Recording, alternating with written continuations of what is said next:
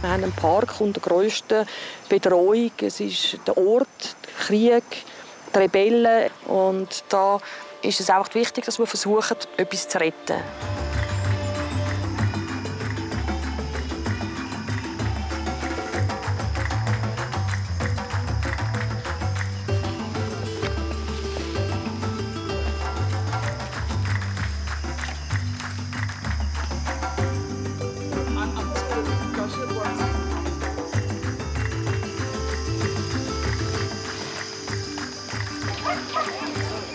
Der Bloodhound ist gezüchtet worden, alte, schwierige und lange Fährten zu verfolgen und das schon seit über 1000 Jahren.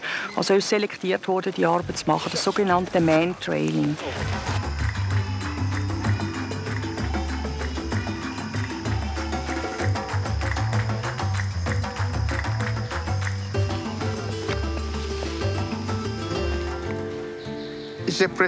Ich habe den Eid geschworen, die Wildtiere zu retten und die Natur zu beschützen. Das ist meine Arbeit und ich bin bereit dafür zu sterben, mein Leben für den Schutz dieser Tiere zu lassen. Die erste Priorität hat der Naturschutz. An zweiter Stelle kommt die Familie.